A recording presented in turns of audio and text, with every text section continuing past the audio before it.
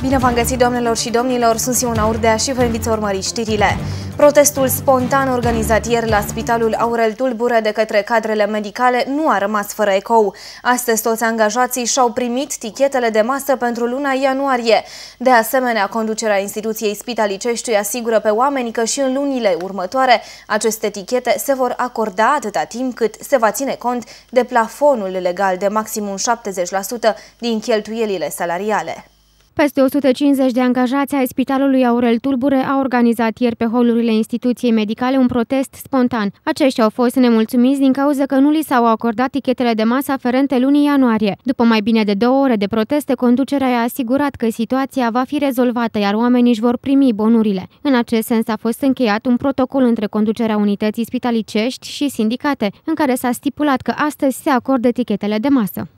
Cu privire la acordarea tichetelor de masă ca drept al personalului, uh, acestea, vă facem cunoscut că acordarea acestora va continua și în uh, anul 2011, cu încadrarea în prevederile legale care spun că virgulă, cheltuielile de personal trebuie să reprezinte 70% din uh, valoarea sumelor de contate de Casa de Asigurări și Ministerul Sănătății. Legat de incidentul produs în data de 2 februarie, îl considerăm ca o manifestare spontană, uh, amplificat, uh, o, un incident amplificat uh, artificial de persoane rău intenționate.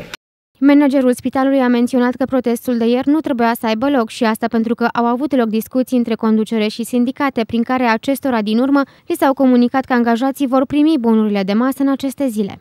La nivelul conducerii există o deschidere permanentă pentru uh, toate problemele personalului prin reprezentanții săi legali și vom răspunde cu prontitudine toate, tuturor problemelor care vor, vor apărea. Pentru celelalte luni aș vrea să vă spun că se fac eforturi deosebite, chiar foarte grele pentru a ne încadra în acel procent de 70% este, care este un plafon legal și pe care nu-l putem, nu putem depăși. Mai mult, acesta a dat asigurări că și în lunile următoare angajații își vor primi bonurile de masă, atâta timp cât se vor respecta prevederile legale, iar cheltuielile cu personalul să nu depășească 70% din valoarea sumelor decontate de Casa de Asigurări de Sănătate Brașov și Ministerul Sănătății.